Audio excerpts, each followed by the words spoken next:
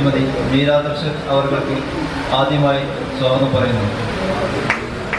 പ്പെട്ട ഒരു പ്രോഗ്രാം നമുക്ക് കാണാത്തതാണ്.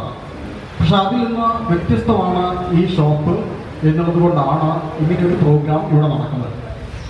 നമുക്കറിയാം ഇന്ന് ലോകം മുഴുവൻ എല്ലാവരും വളരെ ഭീതിയിലാണ്.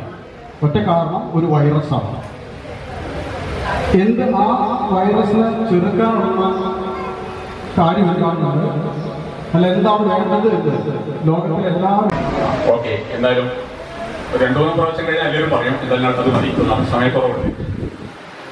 ഓക്കെ നമ്മൾ ശരിക്കും ഇവിടെ ഒത്തുകൂടിയിരിക്കുന്നത് ഇന്നറിയാം ഇന്ന് നേരത്തെ പെരുമാഷോട് പറഞ്ഞു ഒരു വൈറസ് ലോകം മുഴുവൻ ഞാൻ ഓടിക്കൊണ്ടിരിക്കുകയാണ്. അത് ആരെല്ലാം ആക്രമിക്കുന്നതെന്നും പറയാൻ പറ്റില്ല. ശരിക്കും പറയുകയാണെങ്കിൽ മനുഷ്യ ശരീരത്തിൽ കറക്റ്റായിട്ട് പോഷകങ്ങൾ ഉണ്ടെങ്കിൽ ഞാൻ പറയുന്നതെല്ലാം മെഡിക്കൽ സയൻസ് പറയുന്നതാണ് ഇപ്പൊ ഗവൺമെന്റ് തലത്തിൽ പറയാൻ തുടങ്ങിയിട്ടുണ്ട്. കറക്റ്റായിട്ട് പോഷകങ്ങൾ ശരീരത്തിലുണ്ടെങ്കിൽ ഒരു വൈറസും ഒരു തരത്തിലുള്ള വൈറസും കൊറോണയല്ല നിപ്പയല്ല ഒരു വൈറസും തന്നെ ആക്രമിക്കില്ല. അതിന് ഏറ്റവും വലിയ തെളിവ് ഇക്കഴിഞ്ഞ പേരാമ്പ്രയിലെ കോൺമിസ്റ്റർ അബു അദ്ദേഹം അവിടെ പേരാമ്പ്ര ഹോസ്പിറ്റലിൽ ജോലി ജോലിയായിരുന്നു. അദ്ദേഹത്തിന്റെ കൂടെ ജോലി ചെയ്തിരുന്ന ലിനി എന്ന് പറയുന്ന നേഴ്സ് അവർ മരിച്ചു. നിപ്പ ബാധിച്ചു ആ ലിനിയെ ലിനി ഐസിയുവിൽ കിടക്കുമ്പോൾ വളരെയധികം എന്താ പറയാ ശുശ്രൂഷിക്കാൻ വേണ്ട ഒരു വ്യക്തി ഉണ്ടായിരുന്നു അപ്പു പക്ഷെ അദ്ദേഹത്തിന് നിപ്പ ബാധിച്ചിട്ടില്ല. കാരണം അദ്ദേഹം ഉപയോഗിച്ചിരുന്നത് ഏകദേശം എട്ട് കൊല്ലത്തോളായിട്ട് തവിടെണ്ണയായിരുന്നു ഇരുപത് എം എൽ തവിടെണ്ണ വെറുമ്പായിട്ട് കഴിക്കുന്ന ഒരു വ്യക്തിയായിരുന്നു മിസ്റ്റർ അബു.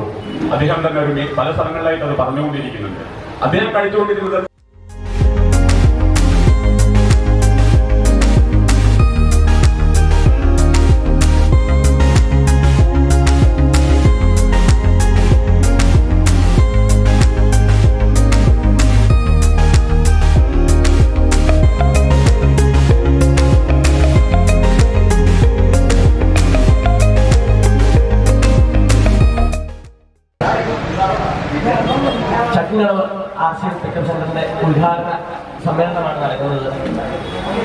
എന്നെ സംബന്ധിച്ചിടത്തോളം ഈ ഒരു സന്ദർഭത്തിൽ ഇതിൽ പങ്കെടുക്കുക എന്നുള്ളതിൽ വളരെ സന്തോഷമുണ്ട്. ഇവിടെ കൂടിയിരിക്കുന്ന ആളുകളെ സംബന്ധിച്ചിടത്തോളം നമ്മൾ മെയിനായിട്ട് നമ്മുടെ ഉദ്ഘാടക Kozhikode deputy mayor Meera madam. ഞങ്ങളുടെ കോഴിക്കോട് ജില്ലയിലെ കുറെ ഔട്ട്ലെറ്റുകളുടെ ഉദ്ഘാടനത്തിന് നമ്മുടെ കൂടെ ഇതിന് മുമ്പ് പാർട്ടിസിപ്പേറ്റ് ചെയ്തിട്ടുള്ള വ്യക്തിയാണ്. കേരളത്തെ സംബന്ധിച്ചിടത്തോളം രണ്ടായിരത്തി അഞ്ചിലാണ് ഈ എം എന്ന് പറയുന്ന ഈ പ്രസ്ഥാനം കേരളത്തിൽ ആരംഭിക്കുന്നത്. ഇന്ന് ഏകദേശം ഈ കേരളത്തിൽ തന്നെ ഏകദേശം തൊള്ളായിരത്തോളം റീറ്റെയിൽ ഔട്ട്ലെറ്റുകൾ ചെറുതും വലുതുമായിട്ട് ഇന്ന് ആർ നമ്മുടെ കോഴിക്കോട് ജില്ലയിൽ ഏകദേശം എഴുപത്തെട്ടോളം ഷോറൂമുകൾ ആർ എക്സ്ക്ലൂസീവ് ഔട്ട്ലെറ്റുകളുണ്ട് ഏറ്റവും സന്തോഷകരമായ വാർത്ത കേരളത്തിലെ ആദ്യത്തെ ആർ സി എം ഫിക്കൽ സെന്ററിന് തുടക്കം കുറിച്ച വ്യക്തിയാണ് ഞാൻ. അതുകൊണ്ടായിരിക്കാം എന്നെ ഈ ഉദ്ഘാടനത്തിൽ മുഖ്യ അതിഥിയായിട്ട് വിളിക്കാൻ കാരണം. തൊള്ളായിരത്തോളം ഔട്ട്ലെറ്റുകളുള്ള കേരളത്തിൽ നമ്മുടെ കോഴിക്കോടാണ് ആർ സി എം എന്ന് പറയുന്ന കമ്പനിയുടെ ആദ്യത്തെ കേരളത്തിലെ ഔട്ട്ലെറ്റ് വരുന്നത്. അന്ന് തുടക്കത്തിൽ നമ്മുടെ മാവൂർ റോഡിൽ നന്ദിരത്ത് ജിമാർട്ടിന്റെ ബാക്കിലുള്ള ബിൽഡിംഗിലായിട്ടായിരുന്നു രണ്ടായിരത്തി അഞ്ച് സെപ്റ്റംബർ പതിനേഴിന് അതിന്റെ ഉദ്ഘാടനം നടക്കുന്നത്.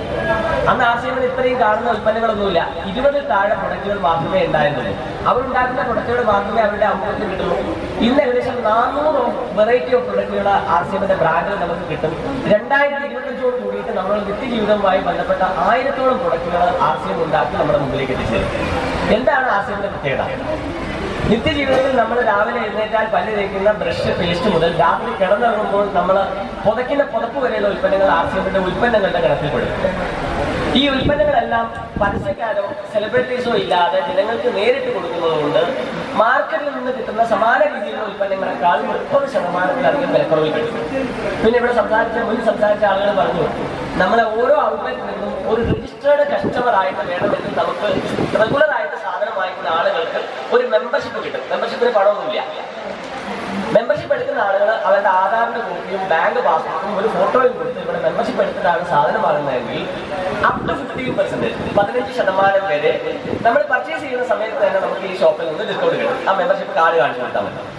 പിന്നെ നമുക്ക് ഗ്യാസ് പർച്ചേസ് ചെയ്യുമ്പോൾ സബ്സിഡി നമ്മുടെ ബാങ്ക് അക്കൗണ്ടിലേക്ക് വരുന്നത് പോലെ വാങ്ങുന്ന എല്ലാ ഉൽപ്പന്നങ്ങളുടെയും അഞ്ച് മുതൽ പത്ത് ശതമാനം കമ്പനി ഡയറക്റ്റ് ആയിട്ട് കസ്റ്റമറുടെ അക്കൗണ്ടിലേക്ക് ക്രെഡിറ്റ് ചെയ്യും. സാധാരണ നമുക്കറിയാം നമ്മൾ നിത്യം ഉപയോഗിക്കുന്ന എല്ലാ ഉൽപ്പന്നങ്ങളുടെയും പ്രചരണം നടക്കുന്നത് വൻകിട പരസ്യങ്ങളിലൂടെയാണ്. കോടികളാണ് ഓരോ കമ്പനിയും ഒരു പ്രൊഡക്റ്റ് മാർക്കറ്റ് ചെയ്യാൻ വേണ്ടിയിട്ട് പരസ്യത്തിന് വേണ്ടി മാത്രം ചെലവഴിക്കുന്നത്. അതിന് വെക്കുന്ന സെലിബ്രിറ്റീസ് ഇപ്പൊ നമുക്കറിയാം ലക്ഷ സോപ്പിന് വേണ്ടിയിട്ട് ദീപിക പത്കോൺ എന്ന് പറയുന്ന ഒരു സിനിമാ താരത്തിന് കൊടുക്കുന്നത് ഒരു വർഷം മുപ്പത്തഞ്ച് കോടി രൂപയാണ്. അത് സ്വാഭാവികമായിട്ടും ഉൽപ്പന്നം ഉപയോഗിക്കുന്ന ഉപഭോക്താവിൽ നിന്നാണ് കമ്പനി